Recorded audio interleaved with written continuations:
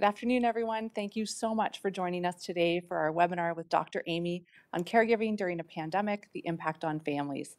My name is Amanda Richards, and I'm the Director of Business Development and Community Integration at Chartwell Retirement Residences. Before we begin, just a couple of housekeeping items. The presentation today will be recorded and will be sent to those of you who subscribe to our email list, but I encourage you to stick around because Dr. Amy is going to be answering any questions you have live after the main presentation. If you have any questions, you can submit them in the comments section and we'll do our best to address them. Uh, also, due to the pandemic, you'll notice today that Dr. Amy is going to be presenting from her home. So please excuse us if there's any interruptions in Wi-Fi or barking dogs or the UPS guy at the door. Uh, we're all doing our very best during these trying times. So now I have the absolute pleasure of introducing today's guest speaker, Dr. Amy D'Aprix. Dr. Amy is a gerontological social worker with over 30 years of experience. She's an accomplished author of two books, uh, a professional speaker, and a life coach. Dr. Amy, thank you so much for joining us today. Thanks, Amanda. I'm really happy to be with you and with all of you today. And I'm excited about the content of this presentation because what I hope is that it really eases the burden for many of you. And during these especially difficult times, we all need to have the burden uh, eased. So I'm going to jump right into the presentation here.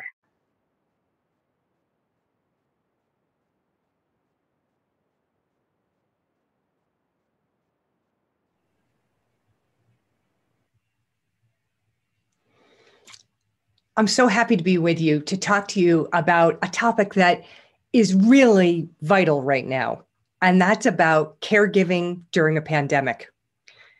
You know, the challenges are immense for all of us who are going through this pandemic. But when you add in the extra layer of what it's like to be a caregiver during this, it can be completely overwhelming. I'm hoping that's not true for you. But let's talk about what the experience can be like right now, because perhaps you're living with the person you're caring for, or you may not be. But you may be really concerned about going to visit them because you don't want to get them sick. And you're also worried that if you get sick, who's going to be there to care for them? That's a big concern. And you may be worried right now that they just don't have enough socialization. They're too isolated. It can be a very lonely time for people right now. And of course, everything I'm talking about is about the impact on the person you love, but it's also about the impact on you. So if your person you're caring for is feel is isolated, my guess is that you're feeling a lot of stress right now because of that. And you may be worried just about things like that they're not eating well enough. And is that a problem? And you may be worried that they need more care than they're getting. So you're worried about the physical health implications right now of them being alone, but also the emotional and mental health implications of that. This is a lot. And I just want to acknowledge that it is not an easy time. You know, when you think about it, there's a big impact on you as a caregiver. And here you see some of the emotions that you might be feeling now, I want to say if you're feeling any of these emotions, it's perfectly normal to have them. You're not a bad caregiver if you're feeling angry or frustrated. It's never about the emotion, it's about what we do with the emotion. So I want you to, to just be able to acknowledge that you may be feeling a lot of different things, and certainly overwhelmed is one of them. Now, you might be feeling guilty for things like you can't get there to even help your parent with maybe their tech issues. Uh, a lot of us end up being tech support for our aging parents. And, you know, more and more older adults are using tech very successfully, but it changes all the time. And you may be the one who gets the call about why isn't the iPad working or even just their cell phone, what's going on with that. So, as you think about your overwhelm and your guilt and perhaps your frustration at the situation and what's going on and frustration about how it is as a caregiver, I'm guessing there may also be some impacts on you and on your health. Maybe you're having more headaches than you've had, or you're not sleeping very well, or you're having upset stomachs or grinding your teeth. And my guess is you could probably add to this list. Now, the truth is, I, am not here to just empathize with you. Right? I don't want you to just say, well, she gets what I'm going through. Let's see if we can't come up with some real solutions for you that will make life a bit easier during this time. And also add to the quality of life of the person that you love. I really want to say to you that seeking out help does not make you weak. It actually makes you strong to be the one who seeks out help. So don't hesitate whether the help is just attending this this presentation and the others that Chartwell is going to do or seeking out other help. It's a sign of strength. So what we want to talk about today is we want to talk about things from the standpoint of emotionally and practically what are some things you can do and some of this will be about for you and some will be about your loved one to get us all through this because right now in this lockdown that we're in right now I, everybody i talk to is telling me that this one seems to be so much harder even than last spring and it makes sense doesn't it because now we're in the throes of winter we've been through this what feels like over and over again and the end is not very near. We can see that this is going to go on for a while. And I think that that makes it very hard. Okay, so let's talk about some practical things that I know are going on. One of the things that I know is going on is that people are delaying seeking solutions. What I mean by that is they're saying, I just have to get through this pandemic and then we'll figure out what's best for mom or for dad or for my spouse, whatever it is. And I want to really encourage you to take action. And that's what this is going to be about today. And this action is about exploring solutions and then hopefully putting them into practice. Okay. So you may have found that what's become obvious for you is that your parents' living situation is not ideal right now. You're, one of the things I think has happened for lots of people is the pandemic has actually highlighted isolation and perhaps what that means in terms of safety and socialization and support. And so we have to step up if that's the case. We can't just say, oh, we'll get through it and then we'll figure it out. You know, even if you're close by, you may realize that because of the pandemic, and this could happen in other situations, it's hard to be there for them in the ways that you want to. So I want to want you to ask yourself, is your loved one in the best right now the best living situation they could be in? Is it ideal? And if you're saying to me, no, it's not ideal, then let's talk about what you can do about that. And I say safety is always first. So let's talk safety. Many people, as I'm saying, realize their parent really isn't safe in the way they want them to be right now, fully safe. So if that's the case, you cannot ignore safety ever. Even during a pandemic, we have to talk about it. And we have to look at safety in lots of different ways. What does it mean to be safe? It's not just isolated away where you're not going to get the virus, because that may not be safe at all from lots of other standpoints. Okay, so let's make sure that safety is looked at in a very broad sense, not just in a little isolated sense. And you may be worried again and have to look at that your parents' health is perhaps suffering because of this. So, what we want to talk about is a long term plan. And how do you go about making that? And how do you start actioning that? And again, I want to remind you this isn't just about your loved one, this is about you. One of the things I say frequently is a solution that is good for one person in the family or one person in a situation at, and, and not good for anybody else is actually not a sustainable solution. It may seem okay in the beginning, but it will not work out in the long term. So, whatever solutions we look at, we want to make sure they're good for everybody in your life, not just you, not just your parent, but everybody. So, making a long term plan. Remember, I said we're going to talk about things from an emotional standpoint and a practical standpoint.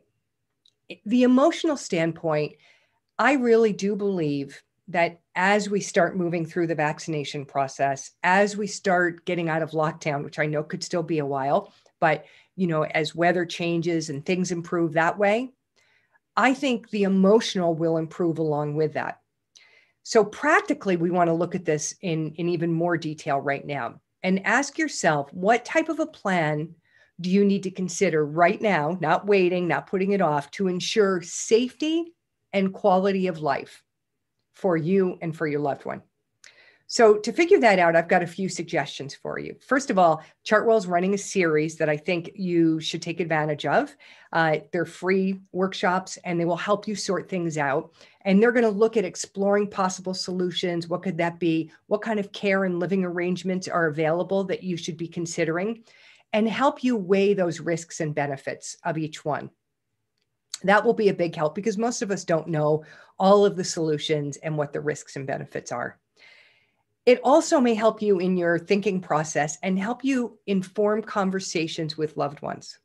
Now, I like to talk about these conversations as essential conversations. And I say that an essential conversation is talking to uh, the people we love about the things that are most important.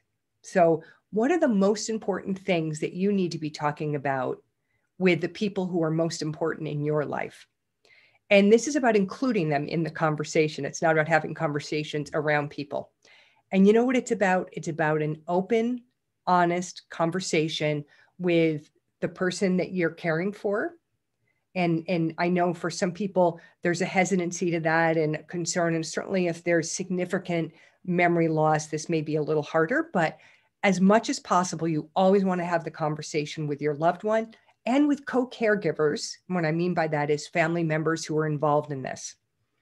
I actually, I'll tell you a little bit more about who I think should be included in these conversations on the next slide, but that's an important consideration about who you are going to include.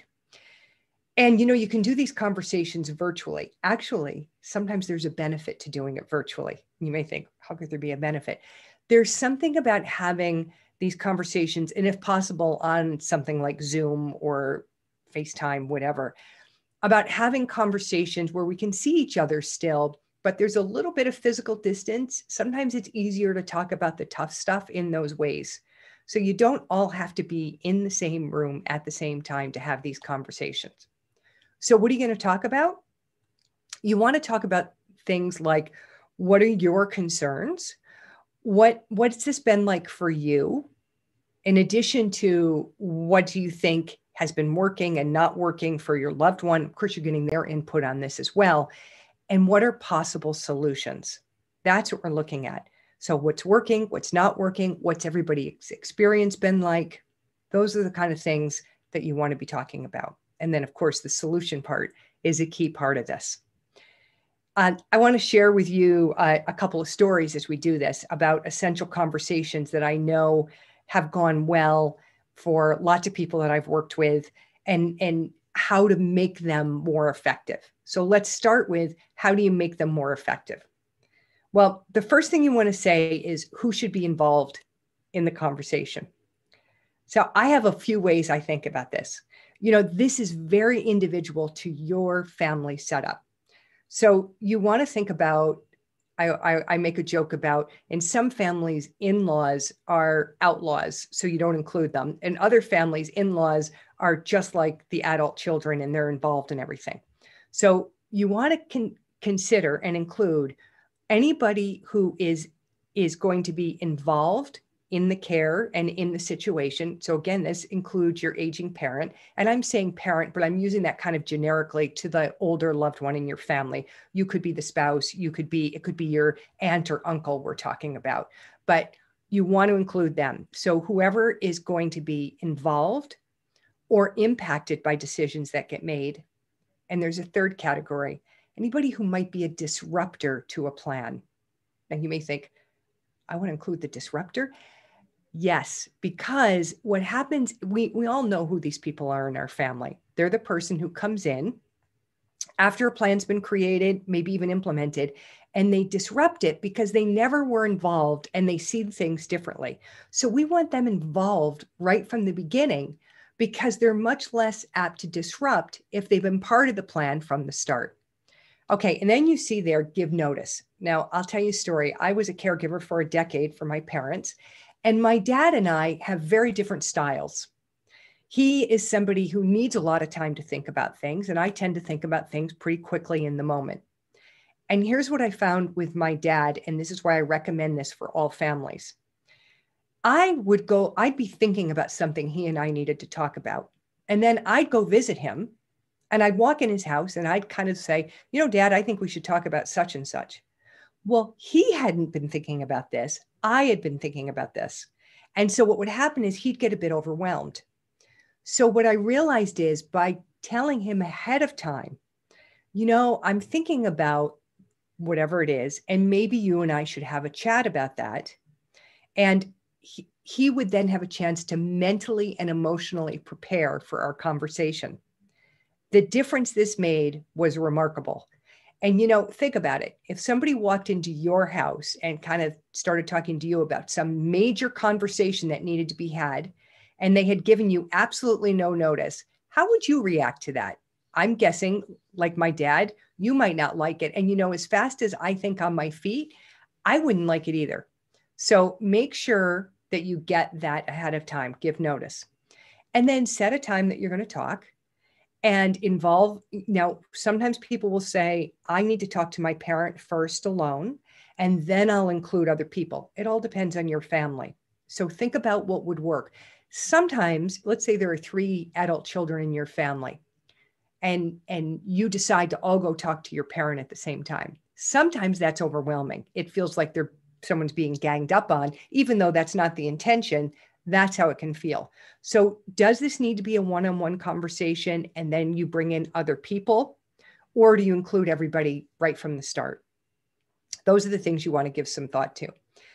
So you've set the time you go over. Now here is the best opener to a conversation. Mom dad, I want you to know that the reason I want to talk about this with you today is I want to support your independence and quality of life. I'm here to support that, not take it away. Now imagine that a conversation starts like that and the difference it makes to someone versus I and these are honest things I've worked with lots of families over the 30 years plus I've been doing this and people will walk in and they often talk to their parents like their parents are adolescents that are not behaving well. Uh, I'll tell you a story that I one time had a guy tell me that he wanted to talk to his dad about driving. And what he did was he walked into the father's house and he grabbed the father's keys and he said, So you're done driving now. And I was stunned. And I said, Well, how did your dad react to that? And he said, Not very well. And I chuckled and I said, Well, I'm wondering if I walked in your house and took your car keys and said, You're done driving, how would you react? And he said, Well, that's ridiculous. There's no reason for me not to drive. And I said, And that's exactly what your dad thinks. So think about the approach because when we tell someone, I'm here to support your safety, your independence, and your quality of life, it's a very different message than if we walk in and start saying, this just isn't working and we need to talk about a new solution because I'm stressed out and I'm worried about you. Immediately, people are on the defensive. Now, it, you may say, well, I would never do that. It's a normal thing in families to approach conversations like that. So, what I'm suggesting is not the normal approach that most people have. Okay, so expressing yourself. Now there's an opportunity to also share how you're feeling about what's going on. And again, these conversations aren't necessarily easy. I remember one that I had with my dad where this was very early on in my caregiving of my parents. My mother had had a massive stroke. She needed a lot of care. And my dad uh, was living, they were living together, but he couldn't provide the care, but he was the stability that allowed us to have care for my mother and I'm going to share later how we ended up moving them to retirement living, and this made it a lot easier. But at this point, they were still in their own home. It was uh, a little isolated. And my dad was the healthier of the two, although I have to be honest with you, he also had a lot of frailty. So, what did my father do? He decided to get on a ladder and clean out the, the eaves. Now, my dad had a balance issue from the time he was a young man. So this was a very risky move. There was nobody there. And when he told me he did this, I had to tell him how I felt about that, that I was really concerned. And I also was upset with him because if something happened to him, who was going to take care of my mom and be there for her?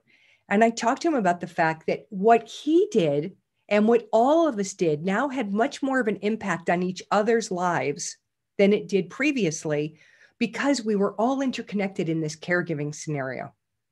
You know, that was a hard conversation, but he needed to know how much that impacted me. And he and I had a really open conversation. And, you know, in that case, he did he did get it. And sometimes I had to have reminder conversations over the decade. You know, what we all do now impacts each other differently.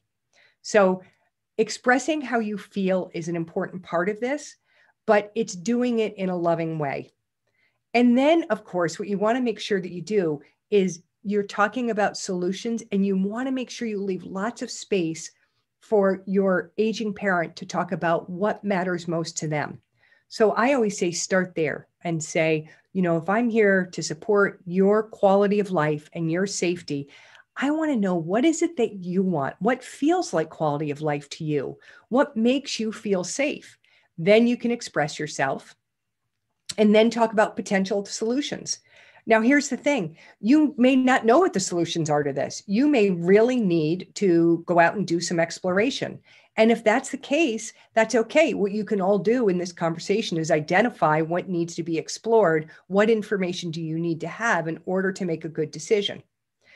I always say that essential conversations are not a one and done.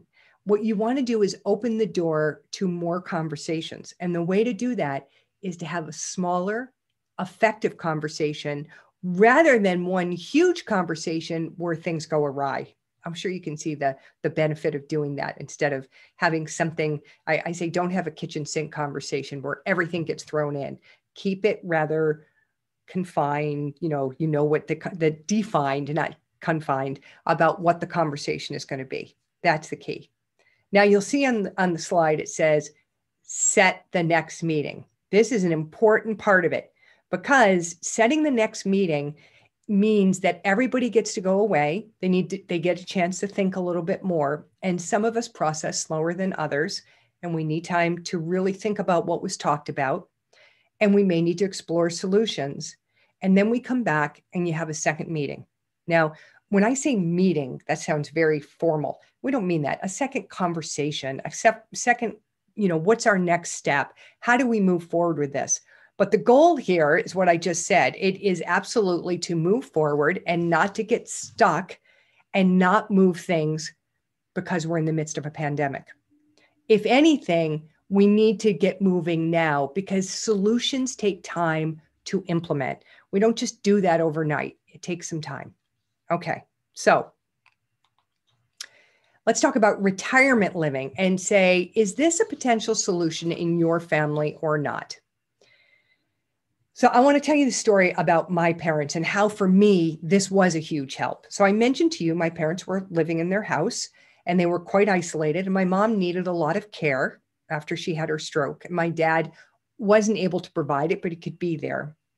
And I was concerned about their isolation and my dad understood that and he was concerned too. I was also worried about the fact that if my mom passed before my dad did, that my dad was going to be alone in a house where the only people he saw my mom. And when she went, they'd be gone. And I was worried what that would mean for my dad.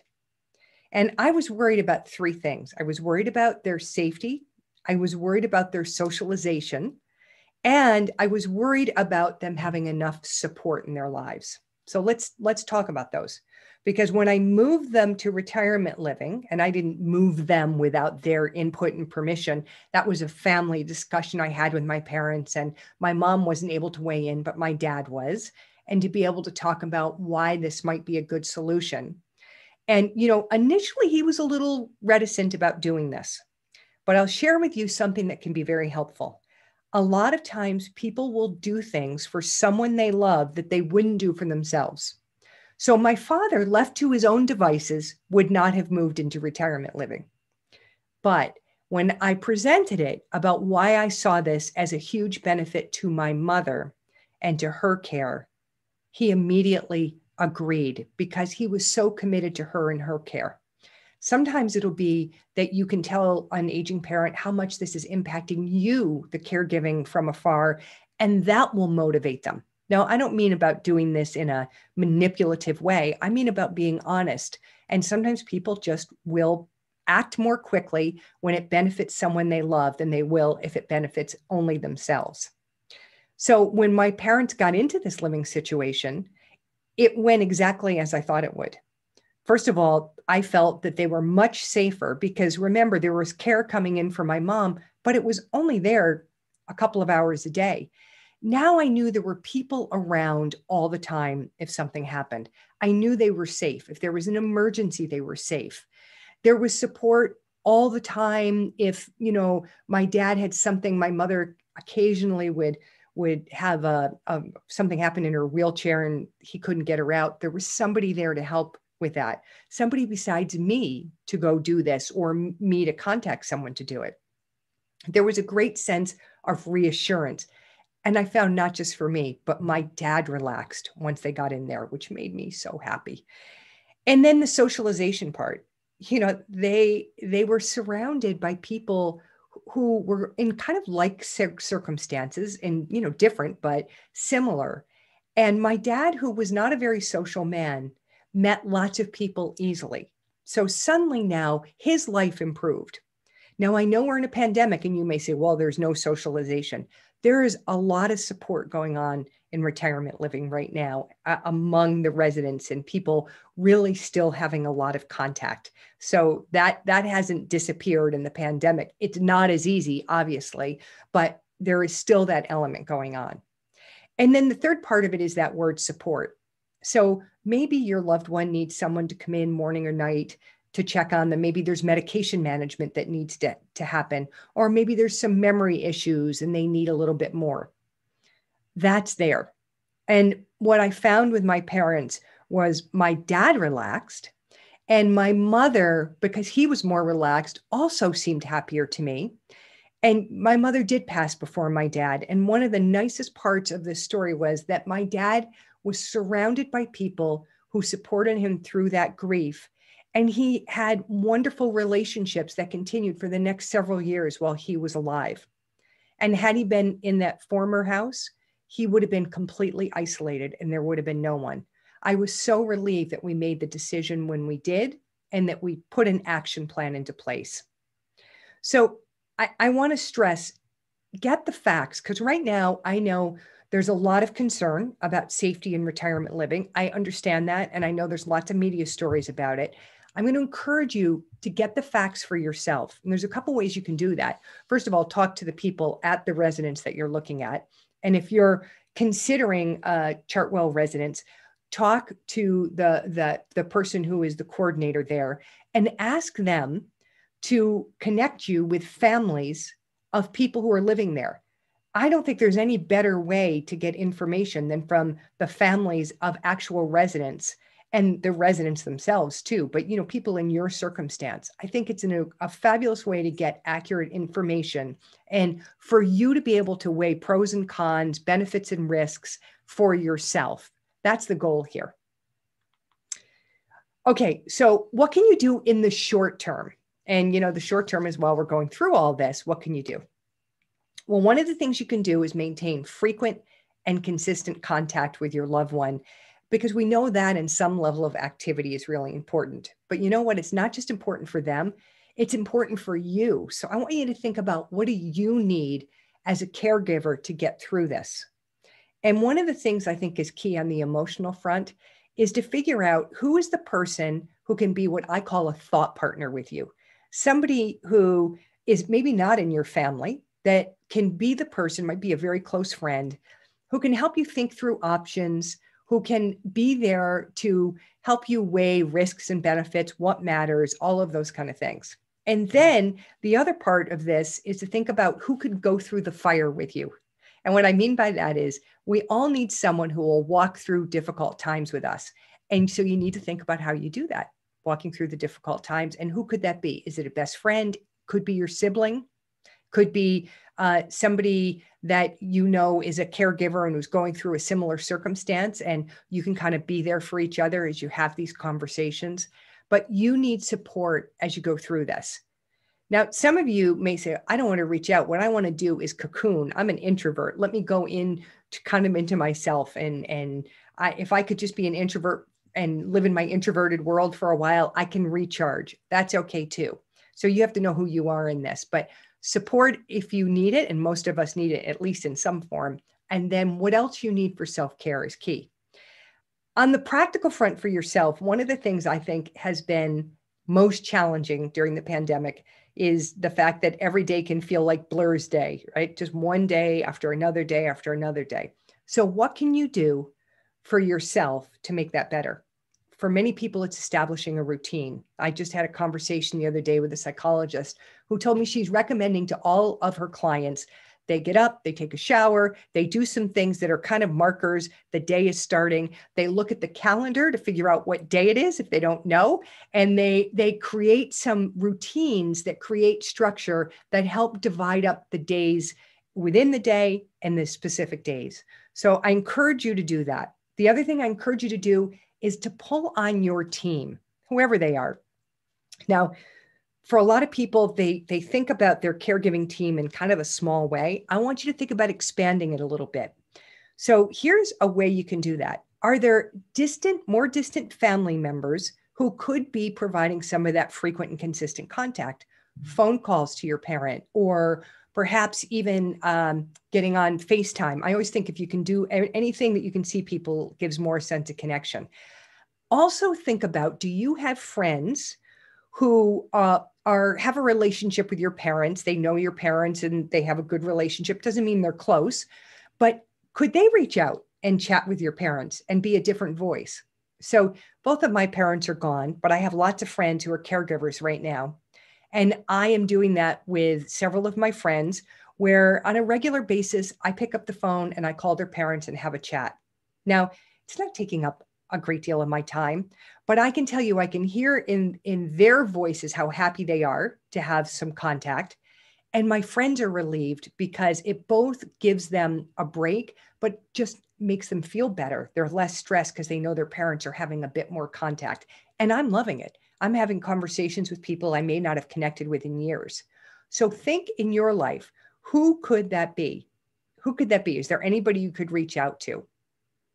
So the goal here is by doing the practical and also attending to your emotional, that things are better for you, right? And for your parent. Remember, this isn't just about one person. It's not just about them. It's not just about you. This is really about how does everybody survive better during this time? Okay, so you may be saying, I'm going to wait it's natural. It's natural to put this on hold. And again, I'm going to encourage you don't put this on hold because putting it on hold is delaying solutions and delaying what could be a better quality of life for you and for your parent and greater uh, support for them and more safety. So take, hit play, stop pausing, and encourage that you do. I'm going to encourage you to do a few things have the essential conversations you need to have explore the options that you need to explore and then put some sort of a plan in motion here's the beauty of doing this we know that when we're in action it reduces our stress levels what increases stress levels is when we feel we have no control so this is about taking more control feeling better about what you're doing feeling like you're there for your parent but also there for yourself. And again, think about talking to a retirement living consultant at the Chartwell residence you're considering, and also asking to speak to family members so you can get the true story right now about what's going on and, and be able to assess for yourself risks and benefits and safety for your parents. I know that caregiving at any time is a huge, huge responsibility there's wonderful parts of caregiving. You know, when you're caregiving, you're you're you you get to have more time with people that you love. You get the opportunity to to have stories shared that maybe you haven't heard in a long time. You have an opportunity to bring out your best qualities of nurturing and warmth and care. And you have an opportunity to look into your own future. And so think about yourself, think about your parent, what will help you maximize this time where you're a caregiver in probably one of the most stressful times any of us have ever experienced in our life? Do what it takes to move forward so that this experience for you ends up being a positive experience during the pandemic and that when it's over, you don't then have to play catch up because you don't have any plans in place. Now is the time to make those plans. Don't hesitate to make them. And I wish you all the best. I'm going to turn you back now to Amanda, who's going to share some more information with you. And Amanda, I'm going to turn this over to you right now.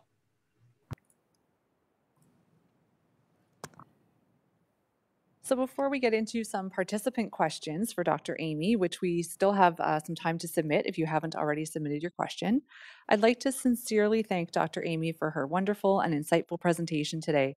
If you'd like to learn more from Dr. Amy, I invite you to visit Chartwell's website, chartwell.com, and explore our library of blogs and videos by Dr. Amy. She discusses everything from how to start the conversation with a loved one to how to get on the same page as your siblings or a spouse, and many other common caregiving challenges. We consider ourselves very fortunate to be partnering with her to bring you these important topics to Canadian caregivers. For those of you who've just begun exploring retirement living at Chartwell and you're ready to learn more about the lifestyle and how it can help you or a loved one, we have a team of knowledgeable representatives who are available to answer your questions and guide you in the right direction. You can call or email us today at the information provided on your screen. And for those of you who've already been actively researching retirement living, and perhaps you've already taken an in person or a virtual tour of one of our homes, now is the perfect time to get in touch with the Chartwell Retirement Living Consultant to book another discussion or another personalized tour. So now we're going to take some questions for Dr. Amy.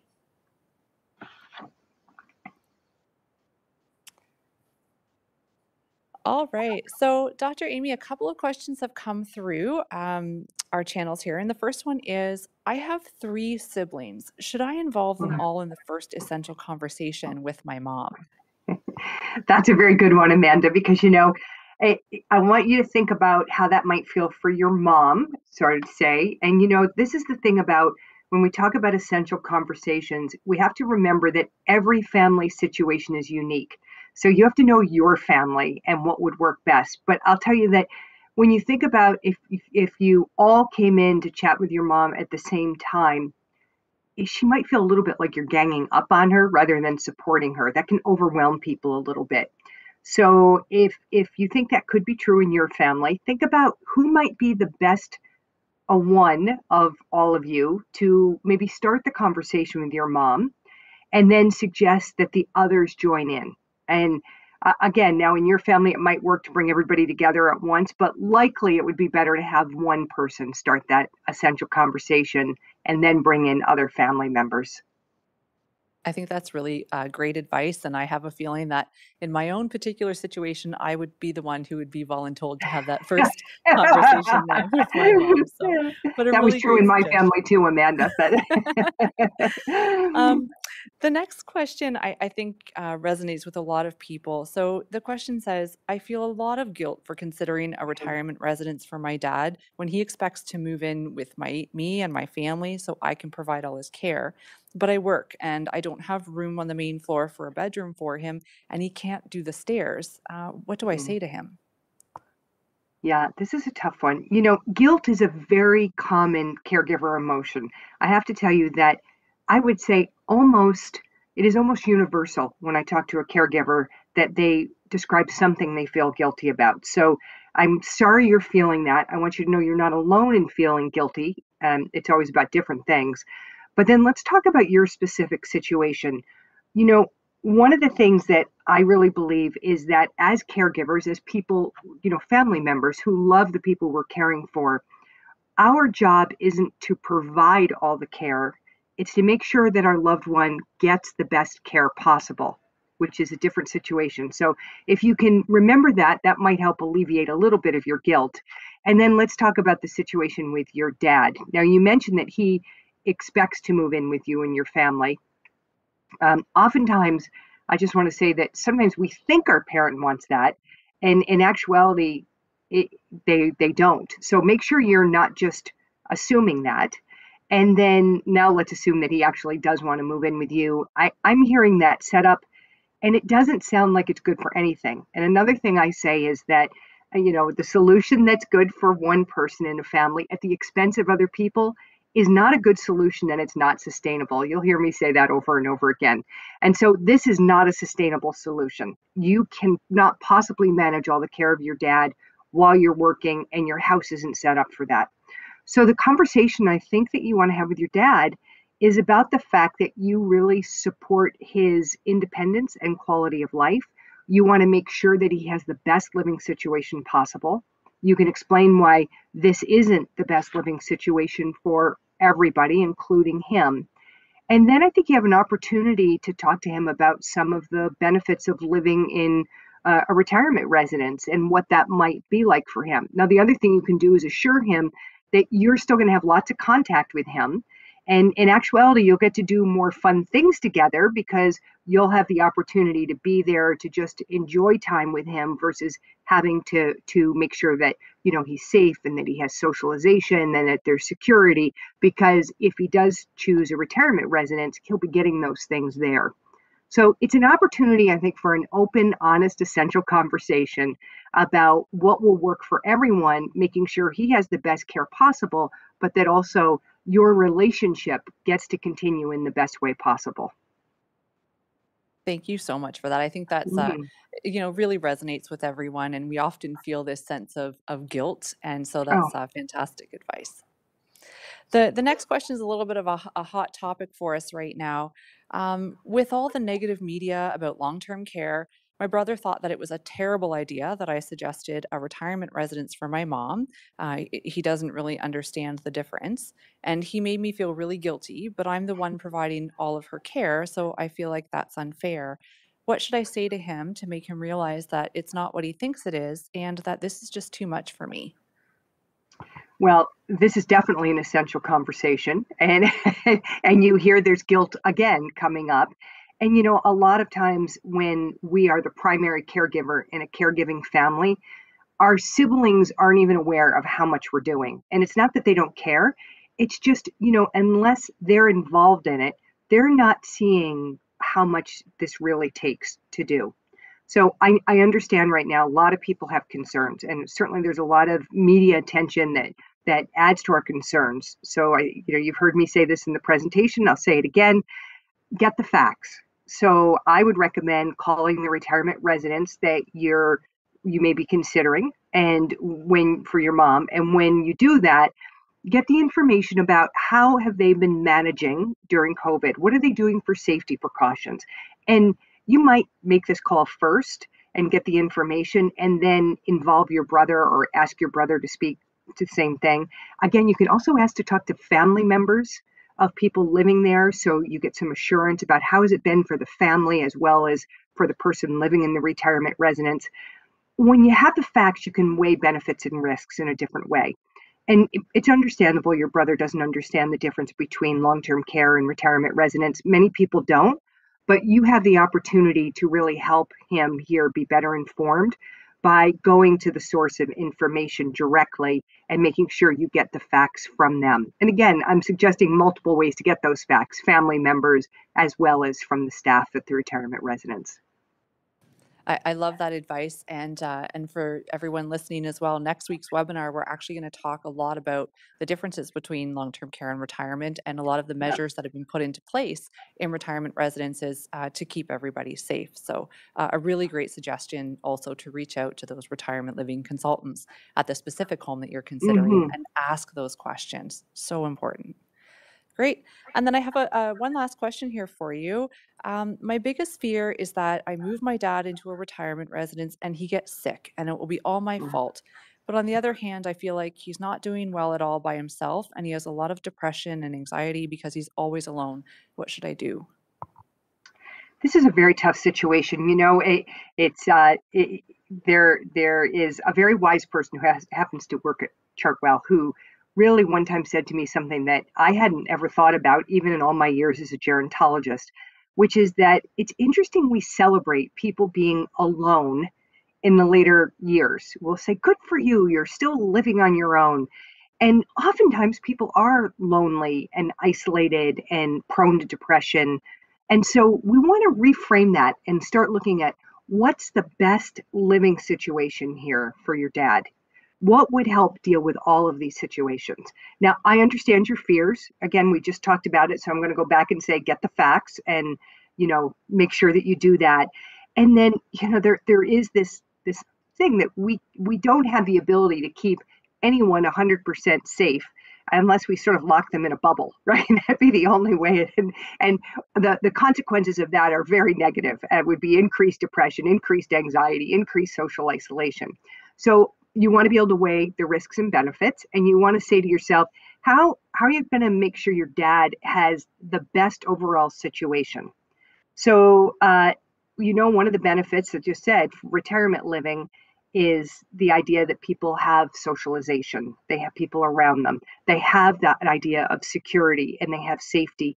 And as I said, I really found this with my own parents. And, and it's a relief for you as a caregiver, but it's also a relief for that person to be able to interact with other people and know there are people around. So I really want to encourage you to to explore this, you know, and to to to to acknowledge your fears, but don't let them hold you back from exploring and making decisions that are in the best interest of your dad having what he needs. And of course, you want him to be part of this process. It's his life.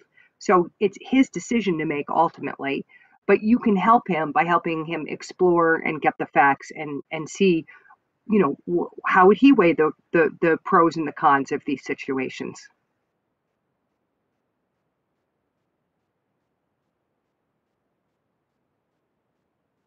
Oops. Thank you so much, Dr. Amy. That was really helpful advice, and I think a lot of people will be able to uh, to relate to that question and uh, and to that response.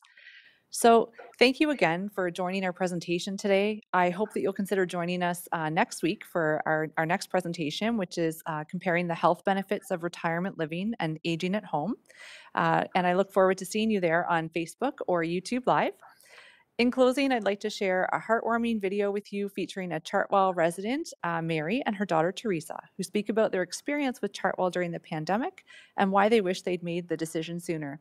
Thank you again, Dr. Amy, and to everyone, have a safe and happy rest of your week. Chartwell really works to incorporate the families into activities that are taking place so that my mom feels that she has a community here but she's not isolated from her family as well. My name is Teresa and my mother lives at Chartwell. I would definitely recommend Chartwell to anyone that is thinking of putting their loved one into a residence. Think of it as putting them into a community. Had I lived in my home where I came from, I wouldn't have had the community that I have here. It turned out to be a home away from home. I can tell you, and I'm sure my mother can attest to it as well, that she wishes she was here sooner. The staff at Chartwell and how they interact with my mom on a daily day basis, it's very important because they see her more than I do. It's just incredible how helpful everybody is. I've experienced Chartwell, and this is where I, I think that you would be very happy. Uh, we're safe. The, the, the, administration has us totally protected. If you have a situation, you phone them down to the main desk, and they'll look after it for you if you can't go down yourself. She feels like she's at home at Chartwell.